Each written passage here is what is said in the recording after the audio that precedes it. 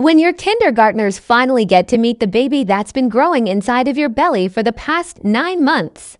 On October 10, 2022, I announced my pregnancy to them. You guys, I'm pregnant. I'm having a baby.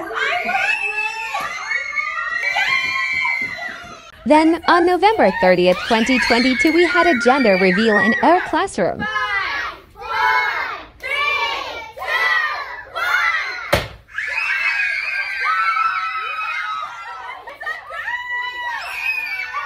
On January 17, 2023, they got creative and designed baby clothes for her.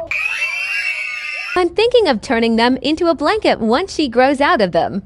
On May 19, 2023, the day of their kindergarten graduation, I made a surprise visit and introduced my first ever group of students to baby Jayde. All of their parents were there to share the special moment.